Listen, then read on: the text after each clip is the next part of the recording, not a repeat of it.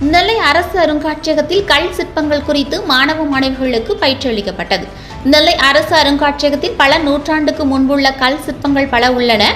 நாள்தோறும் பள்ளி கல்லூரி மாணவ மாணவிகள் ஆசிரியர்கள் பெற்றோர்கள் பொதுமக்கள் என ஏராளமானோர் அருங்காட்சியகத்துக்கு வருகின்றனர்.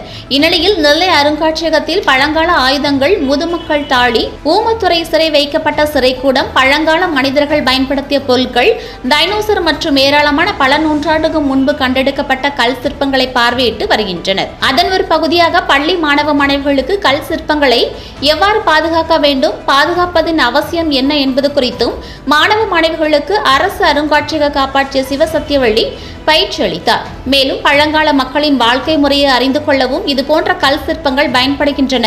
எனவே கல் சிற்பங்களை பாதுகாப்பது மிக முக்கியமான ஒன்றாக அமைந்துள்ளதாகவும் மாணவ மாணவிகளுக்கு எடுத்துரைத்தார்.